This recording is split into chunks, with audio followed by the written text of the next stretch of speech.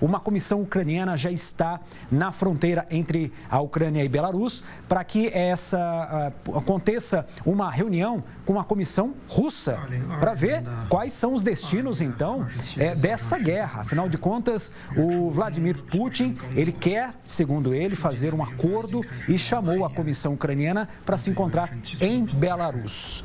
E hoje a invasão russa na Ucrânia completa cinco dias.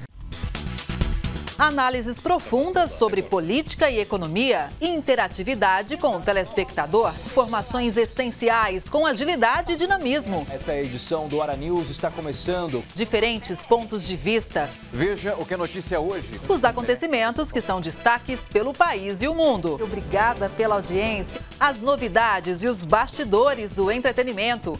Grandes reportagens de diversos temas com profundidade. Obrigado pela companhia. Uma ótima noite. Documentários jornalísticos e matérias especiais. Informações do universo geek e da cultura pop.